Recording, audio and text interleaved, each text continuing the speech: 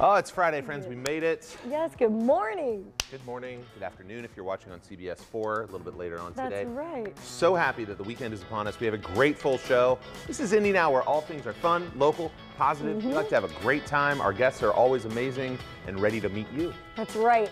And it's so great because we've got all kinds of fun things to tell you about events. It's that time of year where you just really get to gather and have a good time, talking Yeah. about recipes, cookies. Come on now, music. We got fun events that you can check out in the uh, in the community, and it's a very special day because our mascot Wrangler and his new brother from a different mother, right. Mm-hmm. Camper, uh, they're here today. They're in their trailer right now, getting makeup. It sounds so Hollywood. Yeah, it They're really in their does. Trailer. They're in their trailer, in the rehearsing trailer their lines, getting getting all, all glammed out. Um, but this is really exciting. Any any day that Wrangler makes a visit, the whole crew, like just the station is a buzz. Ah. We love that mini horse. We love him. We've got And- Mm-hmm. Wrangler and Camper, and they're dressed as miniature reindeers. Little and this is something that you could Yeah. schedule to bring to your house. It's Yeah. a Wrangler gram.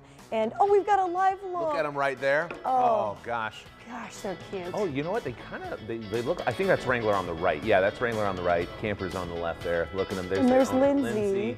These Wrangler grams are, are amazing. Our family had Wranglers show up on our porch.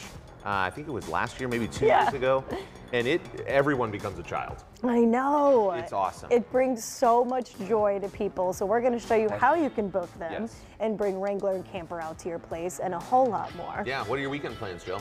Weekend play. Oh gosh, I since coming back from a trip. Yeah. I, I need to gather because we had, you know, our belated honeymoon in Mexico. Then we went to Florida for Thanksgiving. Nice. So I'm definitely one of those people that has my suitcase on the floor that has not Oh, been yeah. unpacked No, this no, no. entire week. I, I feel that. So yeah, it's been a bit it's been a bit chaotic this week. So hopefully it's a week of regrouping. How about Still you? settling the weekend. in. Yes. Yeah. Um, tonight we're gonna go see uh, Yuletide. Yeah. Uh, down at the ISO, which will be great. And then tomorrow, uh, pretty chill. And then Sunday, I'm playing with my friend Sarah Scarborough McLaughlin at the Studio Theater at the Center for Performing Arts, which will be a lot of fun. Nice, So yeah, kind of a fun musical weekend. That'll be great. It's gonna be great, yeah. Well, we always like to start things off On a good note. Today's On a Good Note is something that we've been doing throughout the week, and it's sponsored by our friends over at Carmel Clay Parks and Recreation.